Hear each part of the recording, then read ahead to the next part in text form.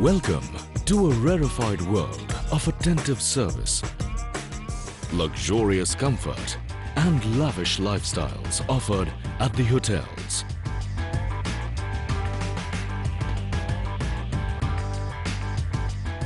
But beyond this, behind the elegant ambience, beneath the hushed tranquility, there is an invisible force that drives, enables, facilitates, empowers.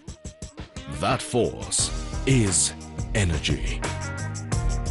The hotels, backbone of the tourism industry, is more energy intensive than one might think.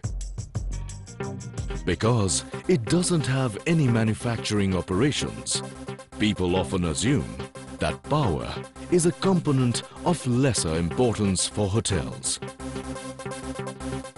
Nothing could be further from the truth. The entire infrastructure and all the facilities are dependent on energy. From the air conditioning plant and the elevators to the kitchen appliances and the lighting across the entire property. Energy costs are a significant component of hotels' operation and can greatly influence the profitability of business on the whole. Investments in proven energy conservation measures across the gamut of facilities can lead to savings in energy cost and in turn will improve the bottom line of the hotel. These investments, apart from benefiting the hotel's financial front, also contribute to the nation by reduced energy demand and to the environment by way of reduced carbon emissions.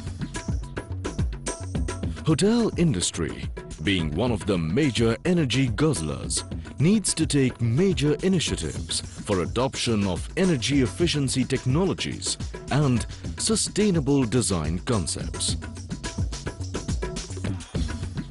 Currently, the country faces peak electricity shortage of 13% and energy shortage of 10%. In order to overcome the shortage, Government of India has already made plans for large-scale investments for ramping up the power generation, transmission and distribution. But the question is, is routine addition of power generation capacity the only solution to the power shortages? Certainly not. The solution also lies in adapting end-use energy efficiency technologies which avoids addition in generation capacity and also helps in reducing greenhouse gas emissions leading to global warming. A study carried out by FICCI under the aegis of the Ministry of Power, Government of India has surveyed about a hundred five-star hotels across large Indian cities. The total energy bill of these hotels was 7 billion rupees. The study revealed an energy saving potential of 1.6 billion rupees. Recognizing this huge potential, the Electricity Act 2001, enacted by Government of India, notified the hotels under commercial establishments as designated consumers and mandates compulsory energy audit, compliance of energy consumption benchmarks, designating energy managers and energy auditors. The various energy audits undertaken in the hotels indicate that electricity accounts for 50% of total energy consumption. Fuels, LPG, diesel and FO, LDO, natural gas account for the balance and are used primarily for water heating, steam generation, food preparation and power generation. In hotels, electrical energy consumption in water heating is about 17 to 41% of the total electricity consumption. Space heating accounts for 18 to 31%. Cooling 6 to 15%. Likewise, refrigeration 2 to 3%. Ventilation accounts for 1 to 4%.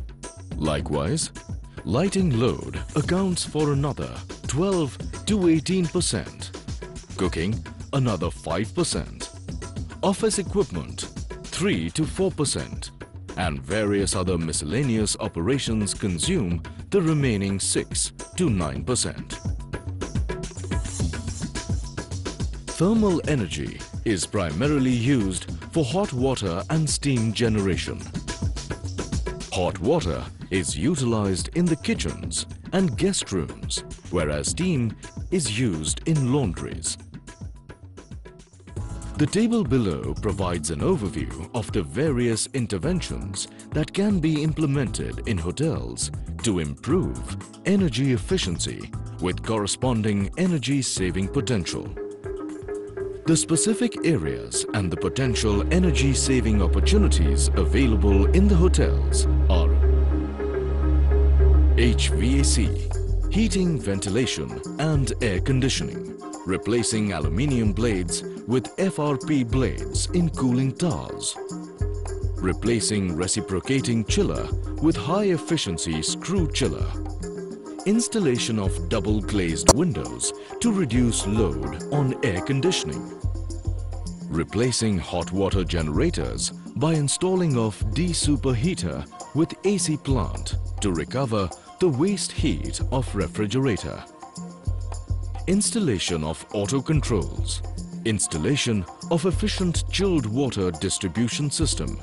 Installation of variable speed secondary pumping system. Installation of offline dedicated filter for cooling tower. Boilers. Replacing steam boilers with high efficiency smoke tube boilers. Flash steam recovery. Installation of economizers to tap heat from boiler exhaust Condensate recovery. Insulating boiler front and back covers properly. Excess air control. Lighting. Replacing conventional 40 watt tube lights with energy efficient T5 lamps. Installation of CFLs. Replacement of halogen lamps with metal halide lamps. Installation of occupancy sensors, dimmers, LED lights, installation of auto controllers, installation of voltage reducers, laundry. Installing ozone washing system in laundry will result in elimination of steam in washing and reduction in water consumption, detergent and linen replacement. Using natural sunlight to totally or partially dry laundry. Others. Installation of building management systems.